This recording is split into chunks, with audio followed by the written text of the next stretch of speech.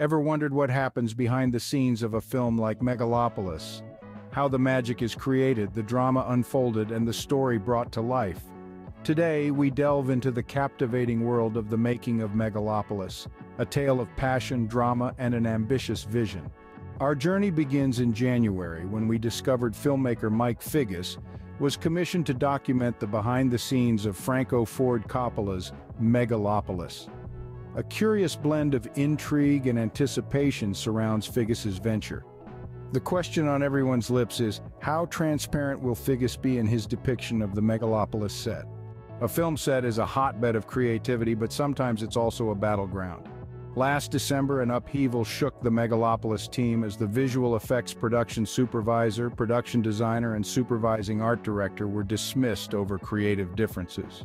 As we venture further into the making of Megalopolis, we can only hope that Figgis captures the chaos and the legend Coppola at work.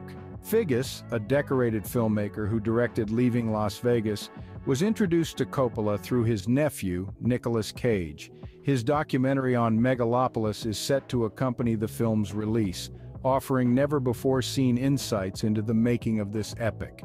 The documentary will feature interviews with renowned directors like Scorsese, Lucas, and Spielberg, promising a treasure trove of cinematic wisdom.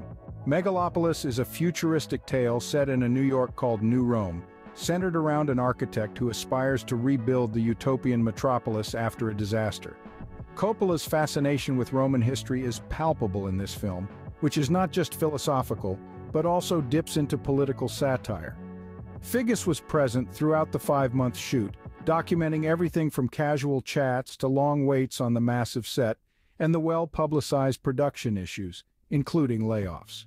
Coppola, the legendary Oscar-winning director, has invested more than three decades into Megalopolis. This passion project is entirely self-funded by Coppola with an estimated budget of around $120 million. As we speak, the film is still in the editing phase in Atlanta after Coppola wrapped up shooting extra scenes on the border between Italy and Switzerland. In conclusion, the creation of Megalopolis is a tale as epic as the film itself. From the firing of key creative talent to the tireless dedication of Coppola, the journey of Megalopolis is a testament to the passion and drama that fuels the world of cinema. With Mike Figgis capturing the essence of this journey, we can look forward to a documentary that not only tells the story of Megalopolis, but also provides a fascinating glimpse into the world of filmmaking.